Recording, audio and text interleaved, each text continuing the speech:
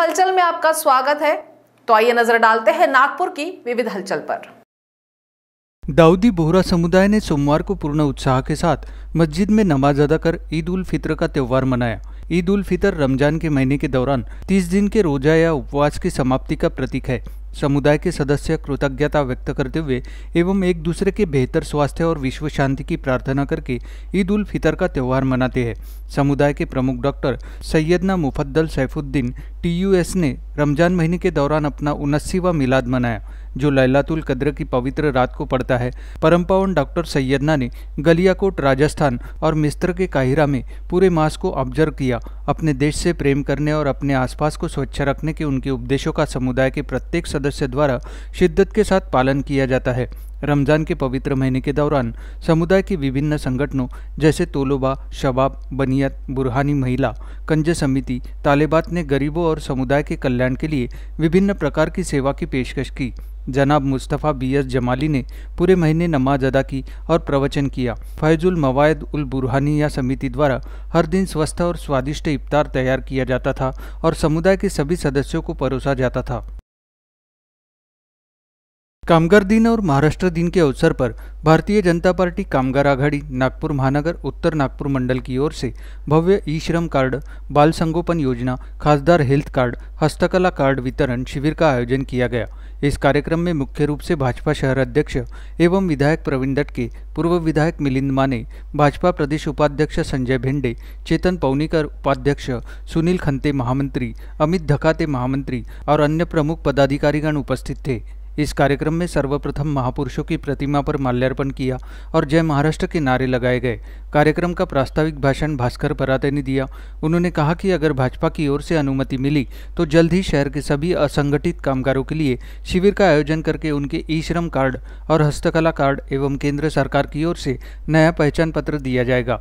इसके बाद शहर अध्यक्ष प्रवीण दटके ने भी उपस्थित कामगारों का मार्गदर्शन किया और उन्होंने भास्कर पराते द्वारा की हुई मांग को पूरा करते हुए कहा कि भारतीय जनता पार्टी हाईकमान जल्द ही भाजपा कामगार आघाड़ी के माध्यम से केंद्र सरकार की महत्वपूर्ण योजनाओं को असंगठित कामगारों तक पहुंचाएगी और उन्हें संगठित करेगी। भारतीय स्टेट बैंक वर्धा क्षेत्रीय कार्यालय द्वारा आज़ादी के अमृत महोत्सव कार्यक्रम के अंतर्गत टाउन हॉल मीटिंग का आयोजन वर्धा स्थित फ़ूड फेस्ट के हॉल में किया गया। इस कार्यक्रम में ग्राहकों का बेहतरीन प्रतिसाद मिला। इस कार्यक्रम का मुख्य उद्देश्य ग्राहकों को उत्तम सेवा प्रदान करना और डिजिटल बैंकिंग की ओर अग्रसर करना तथा डिजिटल बैंकिंग से होने वाली धोखाधड़ी से बचने के लिए उपाय योजना के बारे में ग्राहकों में जागरूकता निर्माण करना था। इस कार्यक्रम में मार्गदर्शन वर्धा क्षेत्रीय कार्यालय के सहायक महाप्रबंधक ललित मथनकर द्वारा किया गया। इस कार्यक्रम को सफल करने के लिए प्रशांत हिवसे रमेश जूनघरे, चंद्रकांत बोदेले, अमेय मानेकर राजदीप कामले, आकाश सहारे तथा अन्य कर्मचारियों का सहयोग प्राप्त हुआ।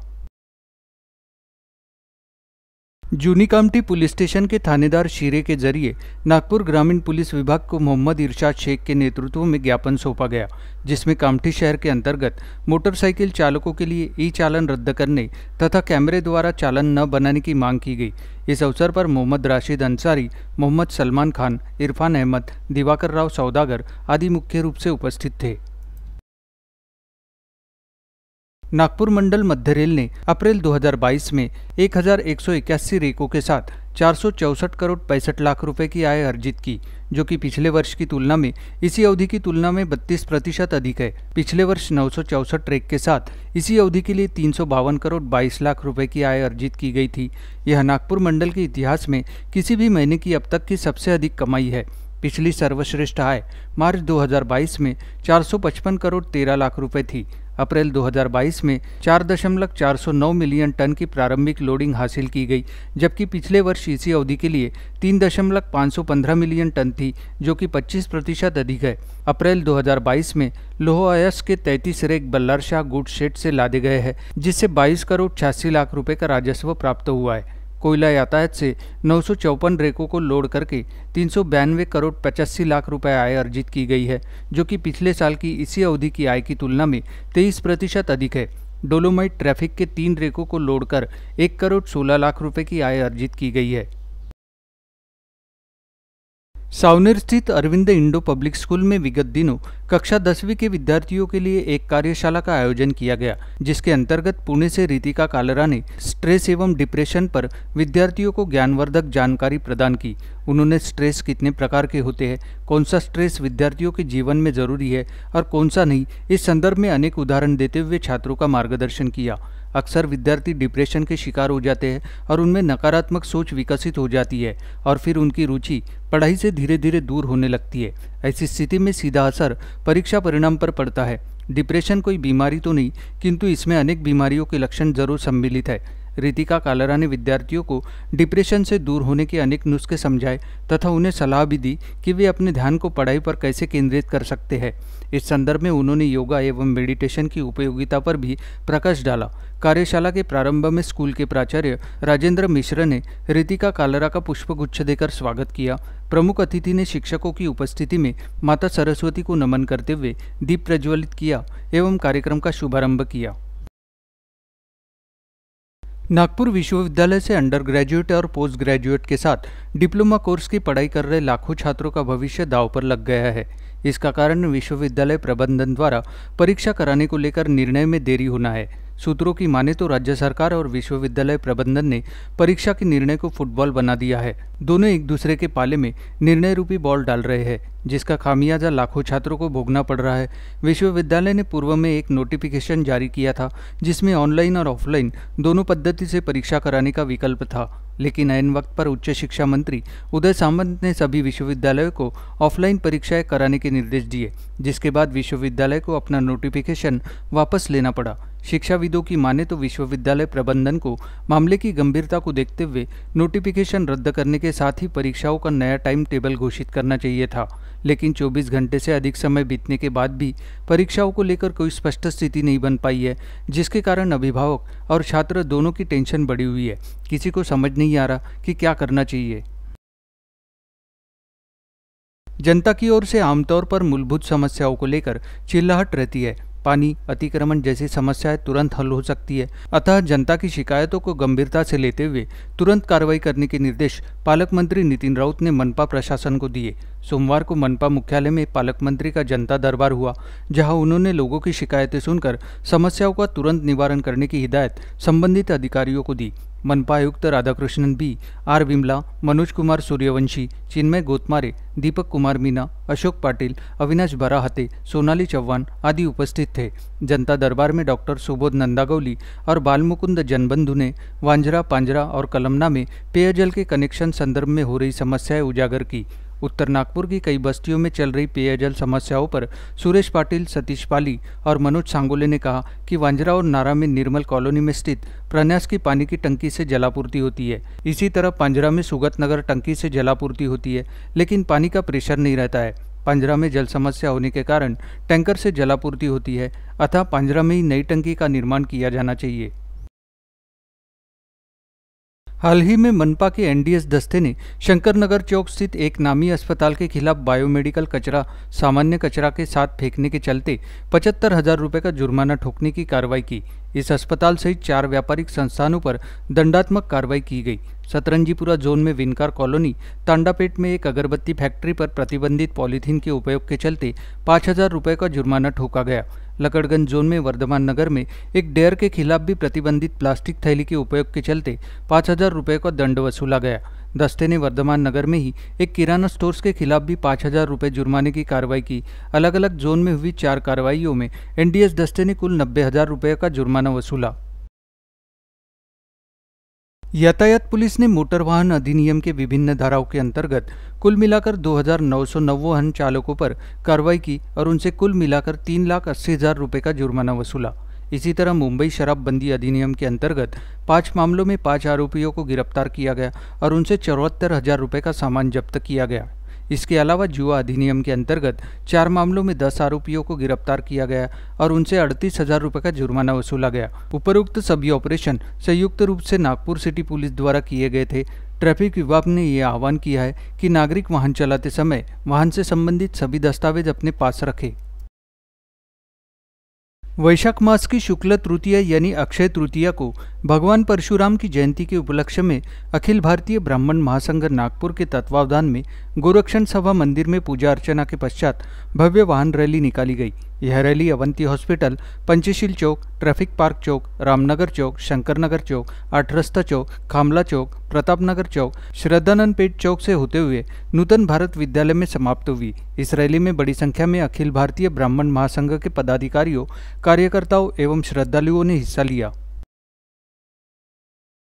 रमजानुल मुबारक के तीस रोज़े पूरे होने पर मुस्लिम समुदाय ने नमाज़ ईद उल फितर अदा कर खुशियाँ मनाई। नए नए लिबास पहनकर मुस्लिम बंधुओं ने विभिन्न मस्जिदों में नमाज़ ईद अदा कर खुदा का शुक्र अदा किया।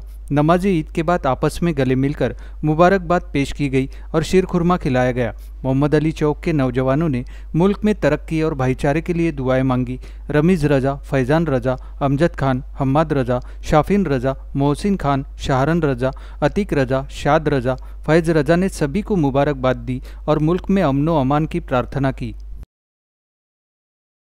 कोविड 19 के प्रादुर्भाव के कारण दो साल तक खासदार क्रीड़ा महोत्सव का आयोजन नहीं हो सका। लेकिन इस साल महोत्सव का आयोजन किया जा रहा है। अनुमान है कि इस साल महोत्सव में बयालीस हज़ार खिलाड़ी हिस्सा लेंगे। केंद्रीय सड़क परिवहन एवं राजमार्ग मंत्री नितिन गडकरी ने कहा, हम ज़्यादा से ज़्यादा खेलों को इस महोत्सव में शामिल करने की कोशिश कर रहे हैं और खासदार क्रीड़ा महोत्सव में विश्व स्तर के खिलाड़ी तैयार होंगे। वे महोत्सव के ध्वज वितरण कार्यक्रम के दौरान बोल रहे थे। इस आयोजन में पूर्व विधायक अनिल सोले विधायक प्रवीण दटके, कृष्णा खोपड़े, मोहन मते, सांसद डॉक्टर विकास महात्मे, पूर्व महापौर दयाशंकर तिवारी, पूर्व विधायक सुधाकर देशमुख, विधायक चंद्रशेखर बावनकुले, कोच विजय बारसे, विधायक विकास कुंभारे, पूर्व महापौर संदीप जोशी, पूर्व विधायक अशोक मानकर आदि उपस्थित थे। गडकरी ने कहा कि इस खेल उत्सव का उद्देश्य दुनिया भर में खिलाड़ियों की खेल भावना का प्रसार करना है और साथ ही नागपुर को दुनिया भर में प्रसिद्ध करना है। हर घर में बच्चों के हाथ में मोबाइल फ़ोन निकालकर खेल के लिए मैदान में भेज दे। इससे उनके स्वास्थ्य और व्यक्तित्व में सुधार होगा। पंद्रह दिनों तक चलने वाले इस खेल महोत्सव में छियालीस खेल स्थल होंगे। प्रगतिशील महाराष्ट्र की घुड़दौड़ को आम लोगों के जीवन में आए बदलाव के साथ देखा जाना चाहिए। इसके लिए राज्य सरकार, अनुसूचित जाति, अनुसूचित जनजाति, अन्य पिछड़ा वर्ग, अल्पसंख्यक और अन्य सभी समुदायों के लिए विभिन्न योजनाएँ लेकर आई है। इन योजनाओं का शत प्रतिशत क्रियान्वयन हमारे सरकार का उद्देश्य है। इस आशय के विचार ज़िले के पालक मंत्री डॉक्टर नितिन राउत ने महाराष्ट्र के स्थापना दिवस समारोह के दौरान व्यक्त किए। वे महाराष्ट्र की स्थापना के बासठवीं वर्षगांठ एवं आज़ादी की अमृत महोत्सव वर्ष के अवसर पर बोल रहे थे। उन्होंने रविवार को नागपुर के ऐतिहासिक कस्तूरचंद पार्क में झंडा फहराया। उसके बाद ज़िले की जनता को संबोधित करते हुए उन्होंने अपने भाषण में प्रशासनिक अधिकारियों से योजनाओं के शत प्रतिशत क्रियान्वयन के लिए प्रयास करने के निर्देश दिए। उनके साथ संभागायुक्त माधवी खोड़े चौरे, पुलिस आयुक्त अमितेश कुमार, जिलाधिकारी आर विमला, मनपा आयुक्त राधाकृष्णन बी, विशेष पुलिस महानिरीक्षक छेरिंग दोरजे, जिला परिषद के मुख्य कार्यकारी अधिकारी योगेश कुंभेजकर अपर आदिवासी आयुक्त रविंद्र ठाकरे और प्रशासन के सभी वरिष्ठ अधिकारीगण उपस्थित थे। पालक मंत्री ने कहा कि ज़िले में तीन हज़ार बच्चे ऐसे हैं जिन्होंने अपने माता अथवा पिता को कोरोना काल में खो दिया है। साथ ही अस्सी बच्चे पूरी तरह से बेसहारा हो गए हैं। प्रशासन को इन्हें सहारा देना होगा। साइलेंट किलर के नाम से प्रचलित मधुमेह अब बच्चों को भी अपनी चपेट में लेने लगा है। ऐसा ही गरीब परिवार से जुड़ा एक मामला सामने आया है। मधुमेह से पीड़ित चौदह वर्षीय बालिका के परिवार की आर्थिक स्थिति कमज़ोर होने के कारण सेवा फाउंडेशन और एक समाज सेवक ने दवा के खर्च की ज़िम्मेदारी ली है। वर्धा ज़िले के आष्टी गाँव में रहने वाली चौदह साल की पल्लवी सातवीं कक्षा में पढ़ती है। उसके पिता तुलसीदास निहारे व माँ खेत में मजदूरी करते हैं। तीन बहनों में से एक दिव्यांग है। पिछले साल से पल्लवी को अचानक चक्कर आना, बेहोश होना, थकान आना, नज़रें कमज़ोर होना आदि लक्षण दिखाई देने लगे। पिता ने उसे समीप के डॉक्टर को दिखाया। डॉक्टर ने पल्लवी को नागपुर के एक निजी अस्पताल में भेजा। तब उसे मधुमेह होने की बात सामने आई। पल्लवी की तबीयत में सुधार के लिए पिता ने अस्पतालों के चक्कर लगाना शुरू किया। निजी अस्पतालों में इंसुलिन का हर महीने का खर्च दो से तीन हज़ार रुपये आता था, इसलिए परिवार के सामने आर्थिक समस्या पैदा हुई। कुछ दिन बाद ही उसका उपचार बंद कर दिया गया। इसके कारण पल्लवी की तबीयत ज़्यादा खराब हुई। अंत में मेडिकल में मरीजों की सेवा के लिए काम करने वाली संस्था सेवा फाउंडेशन ने उसका उपचार, दवा व अन्य जाँच की ज़िम्मेदारी ली और अब पल्लवी को संस्था की ओर से इंसुलिन जीवन भर उपलब्ध कराया जाएगा। उत्तर भारत में पश्चिमी विक्षोभ का असर नागपुर समेत विदर्भ के तापमान पर हुआ है। पारा लुढ़कने से नागपुर समेत विदर्भ में गर्मी की तपन से राहत महसूस की जा रही है। पिछले 48 घंटे में नागपुर का अधिक तापमान एक दशमलव तीन डिग्री सेल्सियस नीचे आया है। विदर्भ में चंद्रपुर छोड़कर सभी जिलों में और दो दिन गर्मी से राहत जारी रहेगी। नागपुर का अधिक तापमान तिरालीस दशमलव तीन डिग्री सेल्सियस व न्यूनतम तापमान उनतीस दशमलव पाँच डिग्री सेल्सियस रहा। पारा लुढ़कने से नागपुर जिला हीटवेव से बाहर निकल गया है। चंद्रपुर छोड़कर विदर्भ में कहीं भी हीटवेव की स्थिति नहीं है। मौसम विभाग के अनुसार उत्तर भारत में पश्चिमी विक्षोभ बनने व हवा की दिशा परिवर्तित होने से नागपुर समेत विदर्भ में पारा नीचे आने से गर्मी से राहत मिली है। कई जगह बूंदाबांदी हो सकती है। गर्मी से परेशान शहरवासी पारा नीचे आने से राहत महसूस कर रहे हैं। अगले दो दिन तक राहत रहेगी। मंगलवार को आसमान में आंशिक रूप से बादल छाए रहने की संभावना है। दो दिन बाद फिर से गर्मी अपना कहर बरपा सकती है। अतिक्रमण को लेकर पिछले कुछ समय से चर्चा में रहे सीताबर्डी परिसर में ज़बरदस्त हलचल मची रही। नागपुर सुधार प्रन्यास ने अतिक्रमण विरोधी कार्रवाई की। सीताबर्डी मुख्य मार्ग पर नागपुर सुधार प्रन्यास का बुलडोजर जमकर चला। दूसरी तरफ़ नागपुर सुधार प्रन्यास की अभ्यंकर रोड चौड़ाईकरण बूटी महल स्ट्रीट स्कीम में बाधा पहुँचा रहे दुकानदारों को बॉम्बे हाईकोर्ट की नागपुर खंडपीठ से कोई राहत नहीं मिल पाई। सुबह नौ बजे से नागपुर सुधार प्रन्यास ने दुकानों का अतिक्रमण सफाया करना शुरू किया। दिन भर में 35 दुकानों का अतिक्रमण ढहाया गया। सीताबर्डी में एक ग्लोकल मॉल तैयार किया जा रहा है। परिसर की ज़मीन बूटी परिवार की है। न्यायालय में शिकायत की गई थी कि इस परिसर में अतिक्रमण करके दुकान बनाई गई है। अतिक्रमणकारियों को न्यायालय में राहत न मिलने के बाद नागपुर सुधार प्रन्यास का पथक दुकानों का अतिक्रमण हटाने पहुँचा। दुकानदारों ने विरोध किया, लेकिन बाद में बड़ा पुलिस बंदोबस्त देख, दुकानदारों ने कदम पीछे खींच लिए। आरंभ में चार जेसीबी के माध्यम से दुकानों को ढहाना शुरू किया गया। दोपहर बारह बजे तक कार्रवाई की गई। तीन घंटे तक दुकानें तोड़ने के बाद अभ्यंकर रोड पर अतिक्रमण हटाने की शुरुआत की गई। नागपुर समेत विदर्भ में पारा गोता खाने से जहाँ लोगों को गर्मी से राहत मिली, वहीं महावितरण को भी बड़ा सुकून मिला है। बिजली की डिमांड कम हो गई है। महावितरण मुंबई छोड़कर राज्य में चौबीस हज़ार पाँच सौ मेगावाट बिजली आपूर्ति करने की दिशा में कदम उठा रहा है। वही रविवार व सोमवार को डिमांड कम होने से कहीं भी लोड शेडिंग की नौबत नहीं आई। लोड शेडिंग से राहत देने के लिए महावितरण पहले ही वॉर रूम शुरू कर चुका है। पूरी मशीनरी इस काम में लगी हुई है। इसका सार्थक असर भी हुआ और पिछले कुछ दिनों से नागपुर ज़िले में लोड शेडिंग नहीं हो रही है। रविवार एक मई को राज्य में 21,300 मेगावाट बिजली की मांग रही। यह अपेक्षा से कम डिमांड है। इसी तरह सोमवार 2 मई को बिजली की डिमांड बढ़ी लेकिन यह डिमांड 24,000 तक नहीं पहुँची। सोमवार को 23,500 मेगावाट तक बिजली की डिमांड रही। इतनी बिजली आपूर्ति करने में महावितरण फ़िलहाल सक्षम है। महावितरण ने दावा किया है कि पिछले कुछ दिनों से ज़िले में कहीं भी लोड शेडिंग नहीं हो रही है। महाराष्ट्र दिन व कामगार दिन के अवसर पर पूर्व नागपुर विधानसभा क्षेत्र के विधायक कृष्णा खोपड़े के मार्गदर्शन में सहकार्य मंच पदाधिकारियों ने वैष्णव देवी चौक, शिवाजी चौक स्थित छत्रपति शिवाजी महाराज की प्रतिमा का पूजन कर माल्यार्पण किया। भाजपा नेता एवं मनपा के पूर्व स्थायी समिति सभापति प्रदीप पोहाने भाजपा पूर्व नागपुर मीडिया प्रमुख व सामाजिक कार्यकर्ता मनोज अग्रवाल, भाजपा एनजीओ आघाड़ी शहर अध्यक्ष नरेश जुम्मानी, भाजपा पूर्व नगरसेवक हितेश जोशी ने छत्रपति शिवाजी महाराज की प्रतिमा पर पुष्प अर्पित कर महाराष्ट्र दिन व कामगार दिन मनाया। एक मई 1960 को बॉम्बे राज्य के विभाजन से महाराष्ट्र राज्य के गठन के उपलक्ष्य में महाराष्ट्र में एक मई को राज्य अवकाश होता है। महाराष्ट्र दिवस आमतौर पर परेड और राजनीतिक भाषणों और समारोहों से जुड़ा होता है। इसके अलावा महाराष्ट्र राज्य के इतिहास और परंपराओं का जश्न मनाने वाले कई अन्य सार्वजनिक और निजी कार्यक्रम भी होते हैं। महाराष्ट्र के एक मराठी भाषी राज्य के निर्माण के उपलक्ष्य में भी यह दिन विविध आयोजनों के ज़रिए मनाया जाता है। इस अवसर पर मनोज पुरोहित, प्रवीण जुमानी, रमाकांत सारडा, तुलसी हरियाणी, जितेश सोहंदानी राकेश अग्रे, नंदकुमार सोनी, लखन श्रीवास, बिट्टू तिवारी, डॉक्टर विनीत कारिया आदि गणमान्य व्यक्ति उपस्थित थे। बाल मृत्यु एक बड़ी समस्या है। शहरी क्षेत्रों में अस्पताल और उपलब्ध संसाधनों के कारण प्रमाण कम बताया जाता है, लेकिन ग्रामीण व पिछड़े क्षेत्रों में इसका प्रमाण अधिक है। स्वास्थ्य विभाग के सर्वेक्षण में बाल मृत्यु के कई कारण सामने आए हैं। पिछले कई सालों से इस पर रोक लगाने के लिए राष्ट्रीय टीकाकरण अभियान चलाया जा रहा है। इस अभियान के अंतर्गत BCG, polio rota virus pentavalent, गोवर, रूबेला, जेई आदि के टीके समय समय पर लगाए जाते हैं। कुछ समय पहले ही सरकार ने बच्चों को निमोनिया बीमारी से बचाने के लिए मार्गदर्शक सूचना जारी की है। बाल मृत्यु के लिए निमोनिया को भी कारण माना गया है। इसलिए टीकाकरण मुहिम अंतर्गत बच्चों को निमोनिया से सुरक्षित रखने के लिए न्यूमोकोकल कॉन्जुगेट वैक्सीन दी जा रही है। इसे नियमित टीकाकरण कार्यक्रम में शामिल किया गया है। नागपुर विभाग के छह जिलों के 19 लाख बच्चों को यह टीका लगाया जाने वाला है। इसके लिए अधिकारी व कर्मचारियों को प्रशिक्षण दिया गया है। चार महीने पहले शुरू हुए इस कार्यक्रम अंतर्गत अब तक पचास हज़ार से अधिक बच्चों को टीके लगाए जा चुके हैं। बच्चों को न्यूमोकोकल कॉन्जुगेट वैक्सीन के तीन टीके लगाए जा रहे हैं। तो नागपुर हलचल में आज इतना ही। आपसे कल फिर मुलाकात होगी। तब तक देखते रहिए वीकेबी न्यूज़ नमस्कार।